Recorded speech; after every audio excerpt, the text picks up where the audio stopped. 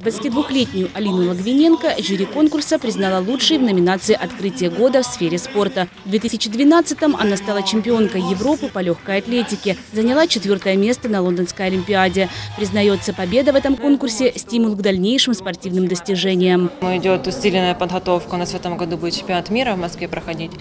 Надо отбираться туда и показывать там уже дальше результаты, чтобы в дальнейшем опять же участвовать на таких конкурсах.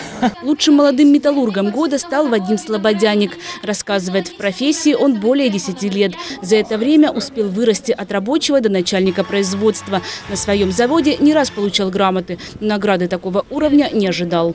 Очень рад за то, что меня выбрали э, в номинации «Металлург года». Значит, э, данный конкурс стимулирует, стимулирует к тому, чтобы развиваться дальше, делать какие-то новые э, шаги в своей э, промышленности.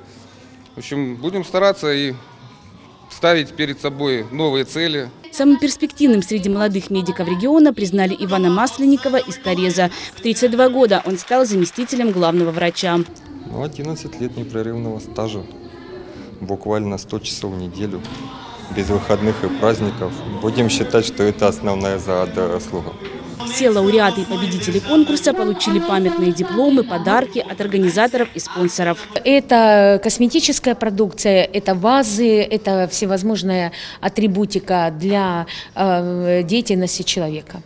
Всего для участия в конкурсе подали заявки более 250 человек со всей области. А это показатель того, что с каждым годом в регионе становится все больше активных и талантливых молодых людей, отмечает Тамара Лукьянчук.